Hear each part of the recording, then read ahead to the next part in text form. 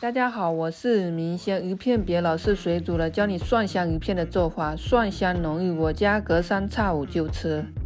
鱼片里倒入一小勺盐，用手把它抓拌揉搓一会儿，这里要多抓拌一下，抓拌出黏黏的状态。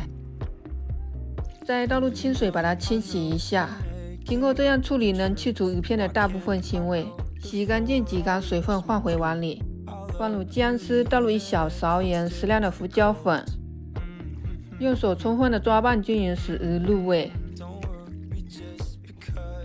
抓拌均匀后，倒入一勺淀粉，使鱼更嫩。再把它充分的抓拌均匀，然后腌制十五分钟。空闲时间准备多一点的大蒜，把它拼命的拍散，再把它切成蒜末，然后再切少许姜末。准备一个红椒，把它切成红椒圈。全部切好后放入大碗里备用。起锅烧开水，倒入一勺料酒去腥。水开后开最小火，放入鱼片，一片一片的放入。放入后别急着去翻动它，容易脱浆。把它煮至定型后，用筷子轻轻的翻动一下。把鱼片煮至变色后即可捞起，沥干水备用。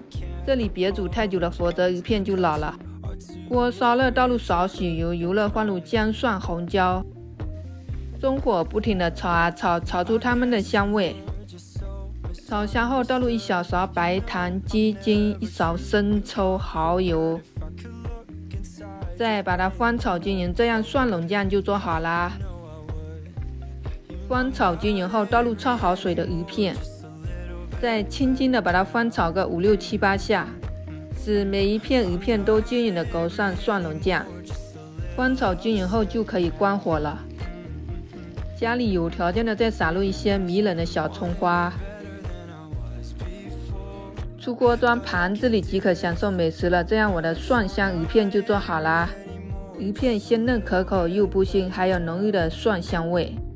爱吃鱼的朋友一定要试试哦。好了，今天的视频就分享到这里，喜欢的朋友点个关注呗。我们明天见，拜拜。